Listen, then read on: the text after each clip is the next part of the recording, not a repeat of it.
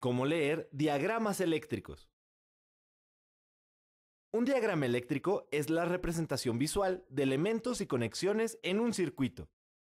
Cada automóvil tiene sus diagramas eléctricos, pero todos tienen características en común. Las uniones físicas de los cables se representan con puntos. 5 volts retorno significa que es una tierra. 5 volts referencia significa alimentación. Si están unidos dos o más líneas, es probable que sea una alimentación o tierra común. La ubicación de cada componente se indica a un lado de este. Para leer un diagrama eléctrico, sigue estos pasos.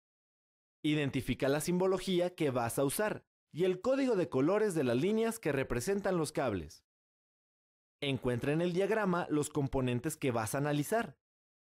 Ubica los cables positivos y las tierras, resaltándoles con dos colores diferentes. También identifica con colores distintos el cable de señal de cada uno de los sensores, actuadores y relevadores.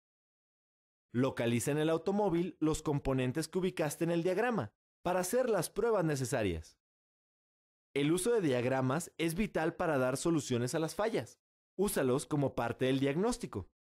Puedes conseguirlos en el manual de servicio del automóvil, en Internet o en revistas especializadas.